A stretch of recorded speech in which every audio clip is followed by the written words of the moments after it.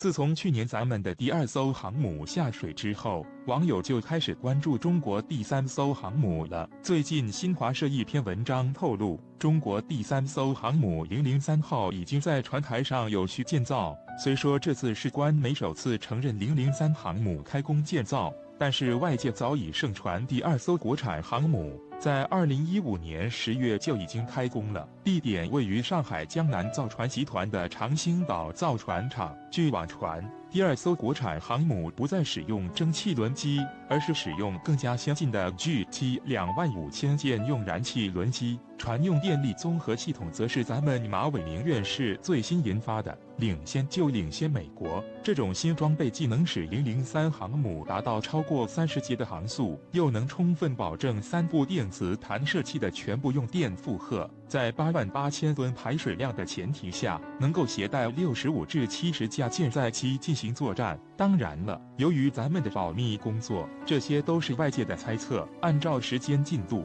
零零三航母在二零一九年前后下水，估计问题不是很大。不过，这可并不是中国航母建设的全部。据悉，国产零零四型航母目前已经在大连进行建造，采用核动力的零零五和零零六也已经完成了初步设计，已经列入海军建造计划之中。我们都知道，在航母的建造和使用方面，美国一直都走在世界航母领域的前列。在近一个多世纪的时间里，美国大大小小加起来，总共建造了近两百艘航母。积累了丰富航母建造经验，技术储备也远远胜于世界各国。尽管如此，航母的设计和建造也是一项复杂的超级工程，涉及船舶、航空、航天、电子、电力、动力。材料、化工、武器等上百个领域的尖端技术，说白了，捣鼓这玩意拼的就是一个国家的综合国力。即使是花钱如流水的美军，也同样吃不消。就拿目前在建的十万吨级超级核动力航母福特级二号舰来说吧。二零一五年开工铺设龙骨，随后就出现了成本超支及工期延误，其造价成本已高达一百三十亿美元。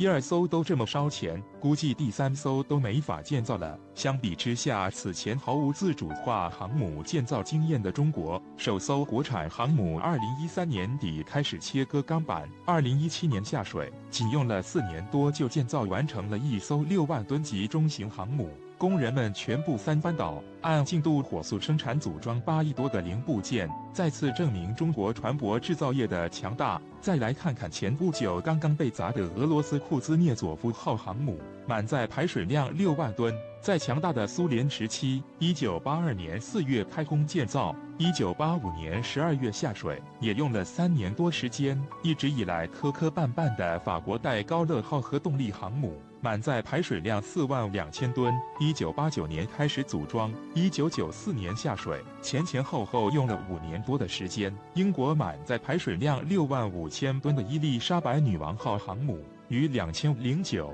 年开工建造，二零一四年下水。组装时就曾使用了振华的一千吨级龙门吊，也用了五年多的时间。印度满载排水量四万吨的维克兰特号国产航母，二零零九年就开工建造，然后就是反复的下水，又反复的被拖回去。当前来看，距离完工和正式下水至少还需要五年以上的时间，其从开工建造到列装至少需要十年时间，能在二零二零年前海试就不错了。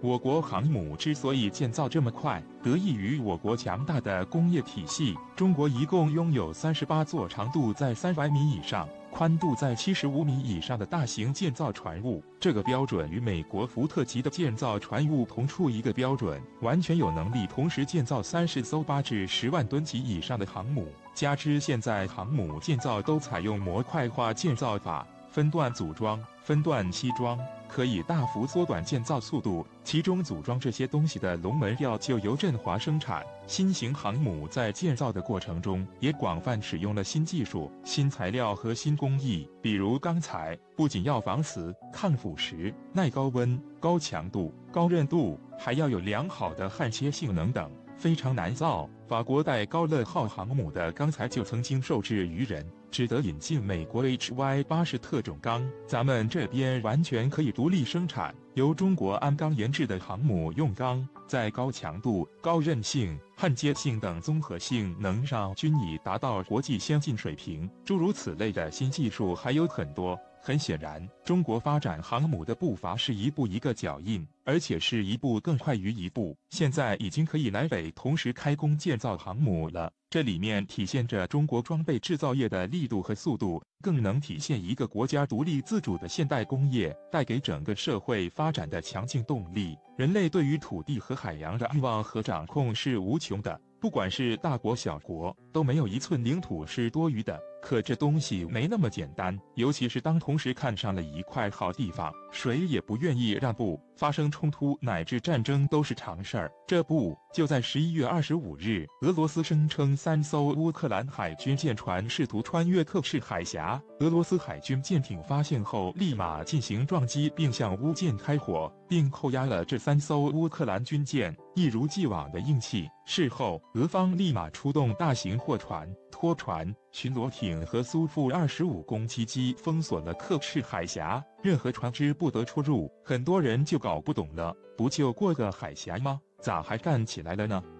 还把海峡给封锁了？那也要看这是什么地方。大部分地理学的不太好的人也不咋知道克赤海峡。可要是提起克里米亚半岛，估计多少都有点印象吧。扼守黑海和亚速海咽喉的克赤海峡，恰恰西面就是克里米亚半岛，就像一把楔子延伸到黑海中间。谁拥有了克里米亚半岛？谁就可能控制黑海这片战略海域，而且俄罗斯黑海舰队驻地就在克里米亚半岛港口塞瓦斯托波尔，拥有俄海军急需的大型船坞。一旦失去塞瓦斯托波尔这个兵家必争之地，俄黑海舰队的作用就会大大削弱。加上克里米亚是天然的不动良港，俄罗斯海运大量物资要从这里进出口。正因如此，二零一四年，俄罗斯就算顶着再大的压力，也要出兵从乌克兰手里拿下克里米亚半岛。失去了克里米亚半岛的乌克兰，不光是没了二